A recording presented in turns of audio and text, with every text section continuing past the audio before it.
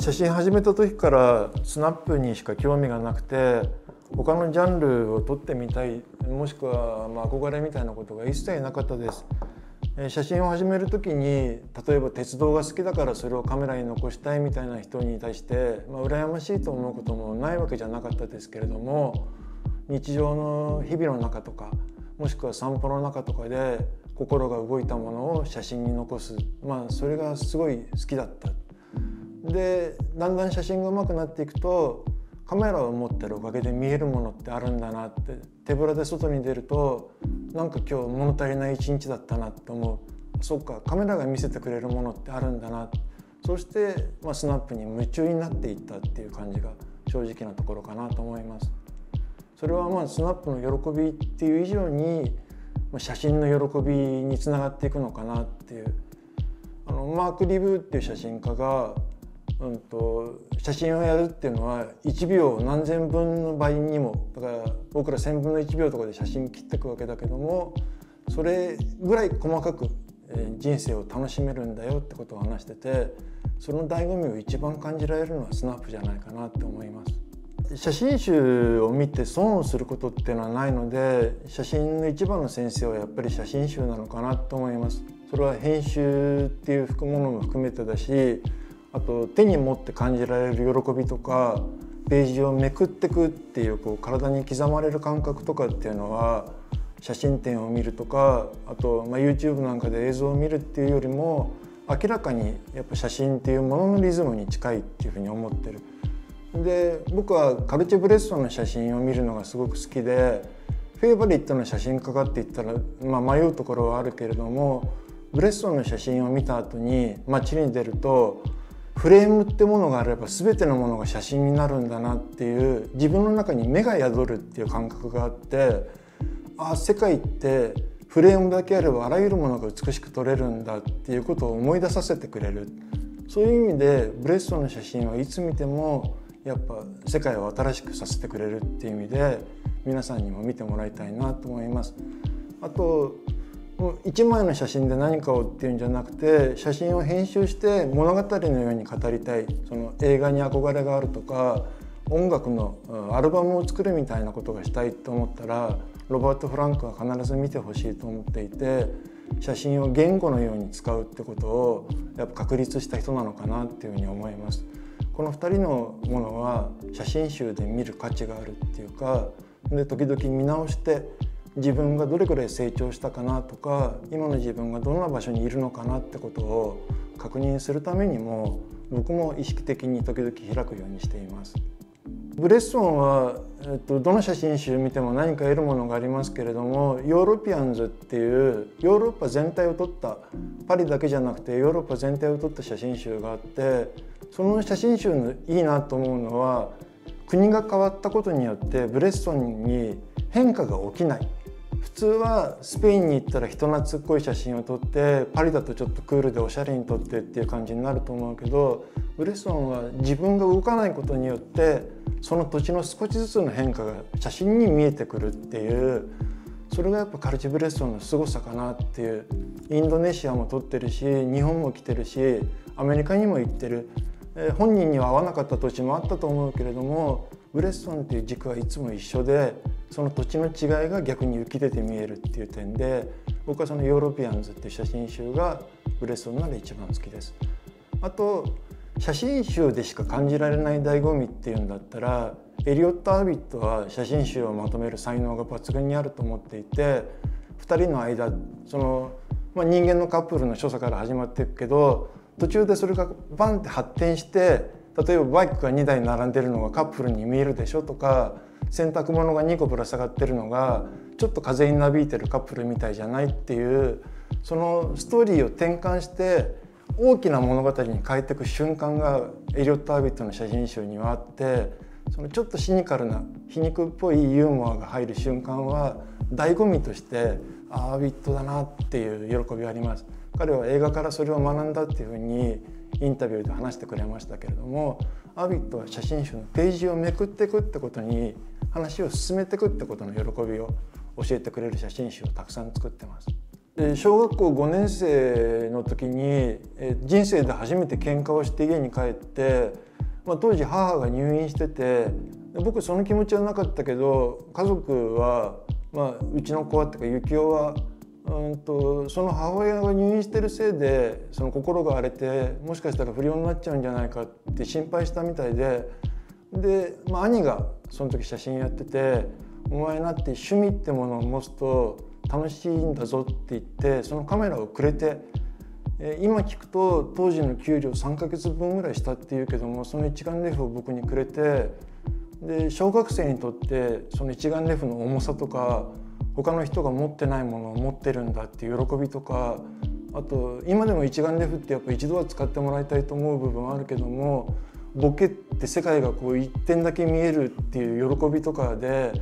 あこんなに素晴らしいものがあるんだったらって言ってその,、まあ、その母のことも含めて日常の全てがその写真っていうものの美しさに消えていくみたいな喜びがあってそこからもう写真には夢中になった。まあカメラに夢中になったっていうかカメラを通して写真に夢中になっていったっていう感じです。失敗はもうめちゃくちゃあります。そのパリに行った初日に持ってるフィルムを全部盗まれたことあるしもう毎日1件ずつ回ってフィルムあるかって言ってある分は全部買ってっていうそれあるしあと、まあ、すごい有名なアーティスト撮ってる時に今日俺調子いいなってすげえカメラ回るなと思ったらフィルム入ってなくてで、まあ、持ち時間当然決まってるからまずいと思ったけどすげえ今のいいからもうちょっと行こうかって言って下向いてるふりしてフィルム変えたこととかあと僕もこの世界入った時アシスタントの経験なかったからスタジオ撮影ってよく分からなくてででもスタジオの写真撮れますかって言われた時にやっぱできないって言えなかったからその当時の空気で。スタジオマンにいつもの感じでやってって言ったら組んでくれてあいつもの感じってこの感じなんだなとか思って覚えたりとかスタンドにしますかブームにしますかって言われてブームって言ったら島唄しか知らないけどとか思ってそっちの方でお願いしますって言ってみたりとかまあいろんな経験ありますよね。でもさっき言ったみたいにその失敗は後から笑えるとかも写真のおかげかなっていう部分はありますあと写真っていうものの許容範囲とかねあのスーザン・ソンタグってすごい有名な批評家がある芸術が本当に力を持ってることの証っていうのはその形式の中に間違いがあったとしても結果としてそれが人の心を動かす。だからうん、写真っていう形式とかそれを撮る時に何かの間違いがあったとしても撮れた写真が力を持ってるっていうのはまだ写真がこの世の中で力を持った芸術だって証だと思ってる。それはねやっぱ道徳的に良くないことっていうのはあります。その今多分鉄道写真で問題になってる、えーと、ある線を越えちゃダメっていうこととかスナップ写真で一時期問題になった人の前にバッて出てって相手を盗み取るようなことをするとか。で僕最近、まあ、あるトークショーで聞いた小津安二郎の有名な言葉で「どうでもいいことはあと流行に従え」でも大切なことは道徳に従え。でも芸術に関することは自分に従えっていう、まあ、小津安二郎のすごい美しい言葉があって本当にその通りだなと思う。だから流行っていうのはもちろん大事その中で写真を撮っていくだけど他人が関わるようなことっていうのは必ず道徳に従うべきででも最後にその写真がいいかどうかを判断するのは自分の責任でやるべきだってその言葉を見ても思います。と40が出てくれた時にもうこれから先これだけでいいなっていうふうに思うぐらい40ミリ僕もし、えーと、リコーが内田君のためにカスタムメイドで好きな GR を作ってあげるよって言われたら迷わず 40mm って頼んだと思う。それぐらい僕にとって 40mm のついたコンパクトカメラっていうのは積年の願いだった。でもうこれだけでいいかなと思うようになったけれどもしばらく使い込んでいくうちにやっぱり28でしか撮れない絵ってあったんだなっていうこととあとこの GR っていうカメラのサイズとあとコンパクト感あと急いで撮る時に、うん、と何も考えずにシャッターが切れるっていう全体のデザインは 28mm っていうレンズを想定したんだなっていうことを実感して逆に、えっと、40を使い込むことによって28ミリにしかなかった速射性みたいなものとか潔さみたいのを改めて感じるようになって今は2台持ちすることにすごい喜びを感じてます。で僕はさっきスナップの時言わなかったけどもスナップ写真って撮る方からのわがままな気持ちで言うと街が伴走してくれているところに僕が出てってアドリブを乗せてその瞬間に曲になるっていうような感覚で街を歩きたいと思ってる今光が綺麗なまあ、ベース例えばベースラインが光の綺麗な状態だとする。そこに誰かが飛び出してる瞬間があってピアノがいい今アドリブ入れたな。で僕がサックスかなんかでそれに乗っかってその瞬間に一つの演奏っていうか美しい調和が取れる。それがスナップの醍醐味であってほしい。で写真について考える時にスタティックな空間っていうかそのものっていうのはどっかにあってそれを探し当てて撮るんだっていう感覚でスナップ撮ってる人多いと思うけれども世界も光も常に動いてるんだ。だから同じ場所を通っても10分ずれてたらそこに魅力を感じない。それはまさにジャズみたいな部分。でエリック・ドルフィーっていう、まあ、ミュージシャンがいてジャズミュージシャンがいてジャズっていうのは演奏の瞬間にしか存在しないって言っててレコードなんかにとってもそこに残るものっていうのは、まあ、痕跡なんだ。吹いた瞬間その瞬間に音が調和して出てくるものがジャズなんだって言ってて僕もスナップはそうだと思ってる。シャッターを切った瞬間にしかスナップは存在しない。だからロー現像もしたくないしトリミングも基本的にはしない。撮った瞬間に全てが完結されてだけどその瞬間に街と光とあとその瞬間に歩いてる人と自分とが完璧に調和するってことが僕にとっての理想。でカルチェ・ブレストンはそれを心と頭とと目が一つになる瞬間って言ったけども僕はまあそこまで、えーと、その3つの感覚を研ぎ澄ませてるっていう感じではないけれどもジャズのトリオなりカルテットなりがそこで一つの美しい演奏をしてるっていうような感覚で街歩きをしたいなっていうふうに思ってます。だからそのために28と40っていう2つの楽器が持てるっていうのはすごく大きなことでそれ片方の楽器を持ったらその音しか出ないっていうんじゃなくてそれを交互に使い分けられるっていうのは可能性を2倍以上にしてくれてるっていうふうに僕の中では思います。のゴダールが「1プラス1」っていう、まあ、映画の中でみんな、えっと、1を知ってると2も理解したつもりになるそれは1プラス1が2だからだ。だけどその前にプラスの意味を知らなければならないっていう美しい言葉を残してて。だからこれ1と1だけど2じゃないこのプラスっていう2台があるってことに特別な意味が生まれるんだってことを最近すごい感じるようになった。それは40使い始めた頃は 1+2 だと思ってた。なんだったらこっちが負担になるせいで1.8ぐらいにしかならないかなと思ってた。だけどそうじゃない。プラスで相乗効果としてこの間に生まれるものがあるんだこの2個があることで生まれるものがあるんだってことを最近は毎日感じるようになりました口下手な人の方がもしかしたらいい写真が撮れるみたいな部分もあるかもしれなくて言葉が苦手だからビジュアルでもしくは目で見たものに対して反応してっていう人もたくさんいると思うしそれはもちろん否定しないです。だけど、まあ、僕立川談志落語家としてすごい尊敬してて立川談志の功績として落語をまあ理論的に語る必要があるっていう免罪符を与えたっていうふうに言ってるみたいだけれども落語ってそれが今まで野暮だって言われてた。その例えば僕も写真やってる時にビジュアルで勝負してる人間がそれを言語にするなんて野暮だぜ。それは心で感じるものだぜっていう風潮はまだあった。だけれどもうどんどんと言語化できるような写真家が必要もしくはその裏付けを持てるような写真家が必要になっていくだろうな。そして世界の変化に敏感に対応できるとかあと、まあ、それを見る人たちの感覚にどれをフィットさせていくかみたいな部分がどんどん写真家に求められるようになるだろうっていう気持ちがあっていつも自分の中で言語化できるようでいたい。で後の後輩たちに僕はこうやって苦労したけど考えるんだ、えー、じゃない心で感じるんだって言われて苦労したけど僕は後の世代に対して整理したものを伝えてってあげたいって気持ちがすごくあった。で写真の教室の本とかいっぱいあるけどあんまり写真って綺麗に体系づけられてない。えー、歴史の部分の話はある巨匠たちの話もあるだけれど写真論みたいなものをきちんと体系づけたものがなくてそれに対しての苛立ちみたいのがあったので事あるごとにメモを取るとか自分でその写真集みたいのを編纂して自分なりのものを作っていく時にそれに自分で勝手に前書きを書いてみたりとか、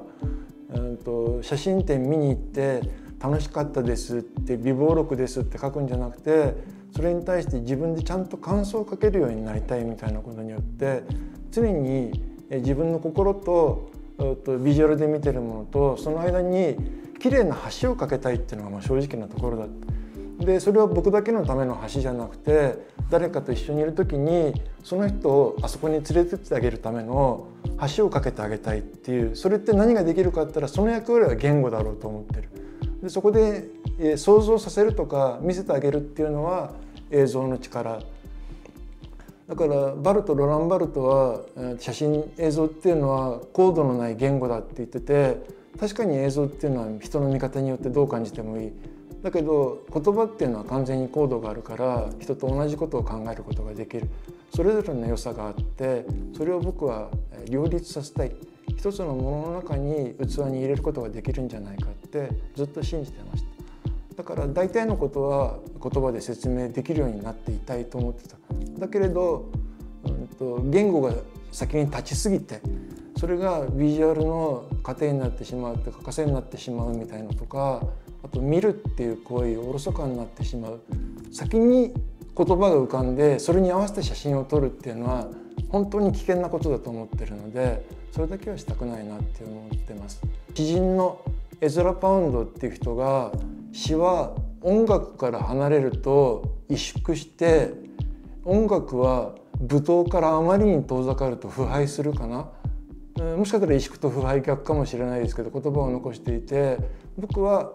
写真っていうものは、えーと、言葉から遠ざかると萎縮するけれども言葉っていうのは声から遠ざかっていくと腐敗すると思ってる。だから写真の中にはどこかしら撮った人の声が聞こえるものであってほしいと思ってる。さあ声は必ずしも言葉である必要がないけれどもその写真から撮った人のボイス今ボイスって言われて世界のクリエイターたちの大事な要素になってますけどもそのビジュアルなり作品から声が聞こえてくるものっていうのは力のある美しいものだと、まあ、僕は信じてます。一つはその、えっと、JPEG でできれば作品を撮りたいっていうことでローで撮っておいて後で仕上げたくないっていう意味でこの2台の GR にはそれぞれ3つの決定的な設定がしてあるんですけれどももう一つこれやるようになったのには、えっと、考えある大きな考えの変換器があってそのモノフォニーっていうか一つの作風で一人の人間の視点だけで捉えられるほど今の街って平坦じゃないんじゃないかっていうことをすごい思うようになって例えば神田っていう街ってギターやってる時に見るのとスキーやってる人間が見に行くのと本を探しに見に行くのと全く街が違って見える。そんな時にその街はレイヤー化してるんだ。その本好きが見る街っていう姿とスキー好きが見る街っていう姿と楽器好きが見る街って重層になって重なってるけどもフィルターを通すみたいにしてあるものしか見えなくなる。そんな風にしてそれを一人の人間の目線だけで撮れるほどやっぱ今の街って平坦じゃないなって思うようになってポリフォニックっていうかいくつかの声が重なって一つの作品になるみたいなことをしてみたいと思ってそれ普通交換レンズでやるとかあとアングルの変化でちょっとやるとかほんのり色を変える程度でやる人が多いですけれども僕は今もう6人のチームで写真を撮るっていうような感覚でまるっきり別の6個の設定が入ってて一つは鋭い影が撮れるとかもう一つは、えーと、スクエアえ正方形のフォーマットによって全てのものをこうデザイン型に取っていくデザインチックにフォーマットに収めていくっていう感覚とかそういう6個の極端な設定が入っていてこの6個で街をレイヤーを剥がし取っていきたいっていうような思いが持てるようになって今はそれを試してます。結局淘汰されていって最後1個になればそれはそれで結果としていいなと思うしこの6個じゃ足りないもしくはもっと多くのってなった時にそれを選び取っていくのも楽しいかなと思います。これはデジタルの世代になったから持ってた自由なのでそれを満喫して自分の作品に利用したいっていうふうに今は思っています。何がカメラの理想かっていうことを考えたらスナップに関しては少なくとも、うんと普通に歩いてるところから写真を撮るっていうところまでにこう引っかかりがない障害がないってことがやっぱスナップにとってはカメラの理想かなっていうふうに思っててそれは目の中にカメラが入っちゃってまばたきの時に写真が撮れるみたいなのだったら最高かなと思う。だけどそんなことは当然無理なわけでじゃあって考えた時に、え、片手でも持てるよ。で片手で起動できるよ。で目線の高さまで自由に上げられるよ。で1本のレンズは 28mm っていうレンズは見てる世界を全部撮れるよ。ちょうど全部撮れるよ。40mm の方はあなたが注意したもの意識したものをきれいに切り取れるよ。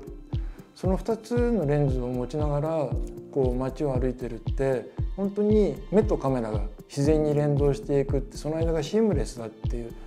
それスナップのカメラにとっては一つの理想かなと思うのでこの GR があるおかげで立ち止まるカメラを構える設定を確かめるっていうその余計なスペースがないっていうプロセスがないっていうのはすごい自然にスナップが撮れるっていうことの心地よさがある。だから写真をさっき第一義にしないって言いましたけども今日は街歩きを純粋に楽しむんだとか美味しいパン屋を巡るぞとか素敵なカフェで午後の時間を過ごすんだっていうような時にカメラがあるってことがその楽しみを削らない。どんな時でもやっぱりカメラってその本人にとって負担になる部分が正直に言えばあるはずだと思ってる。だけど GR に関して言えばそれがない。今日もカメラのためにカバンを持つ必要がなかった。いつも使ってるカバンの中に GR が2台すっぷり収まってっていうそんな風に自分の日常にすんなりカメラが馴染んでくれる。それが僕にとっての GR かなって思います。